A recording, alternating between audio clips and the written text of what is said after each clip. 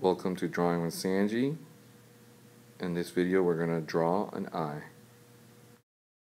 We're going to start out by drawing a circle very lightly with your pencil. Wherever I shade with gray, I want you to use your pencil very lightly. Wherever I, wherever I draw lines with gray, I want you to use your pencil very lightly. Uh, once I start using black, that's when that should give you a clue to start drawing with your pencil darker. Uh, wherever I use white, then you should probably try and use your eraser to make those marks. Make sure you remember to pause where you need to and rewind if you have to. And don't forget to have fun.